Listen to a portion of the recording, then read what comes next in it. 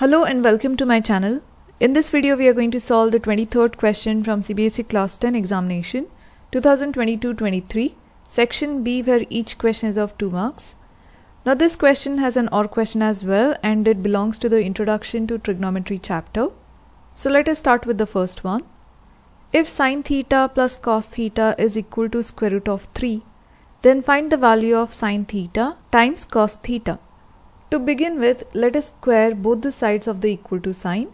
So we get, so sine theta plus cos theta the whole square is equal to square root 3 the whole square is equal to 3. Now when we square the square root, the square root disappears. So we are left with only 3.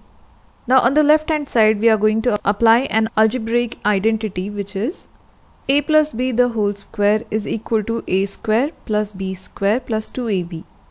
Now in this case sine theta is a and cos theta is b.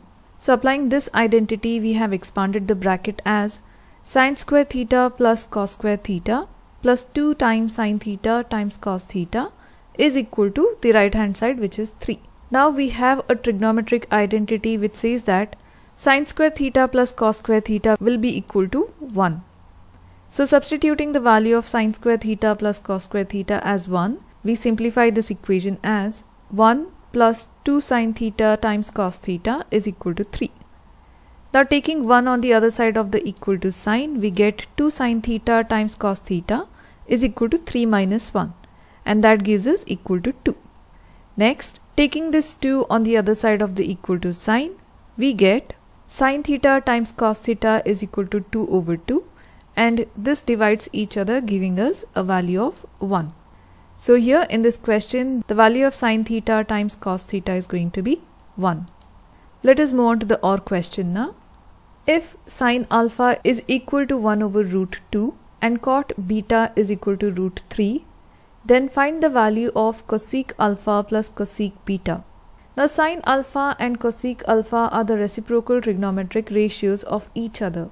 So we can write cosec alpha is equal to 1 over sine alpha and since sine alpha is given as 1 over root 2 the reciprocal of 1 over root 2 becomes root 2 so cosec alpha is equal to root 2 so here we have got first part of this question that is cosec alpha is equal to root 2 now let us focus on cosec beta.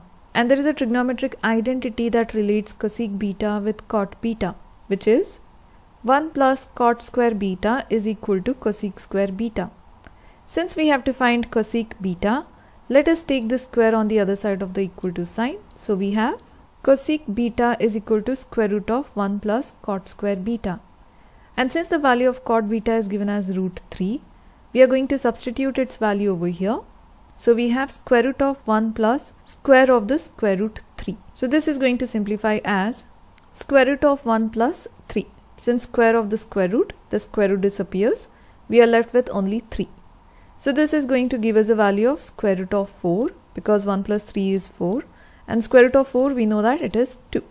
So now we have the value of cosec alpha as root 2 and cosec beta as 2. Now let us combine these two values. So cosec alpha that is square root of 2 plus cosec beta is 2.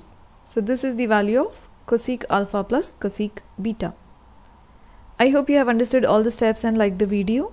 If you're liking my videos, like, share and subscribe to my channel and thank you for watching.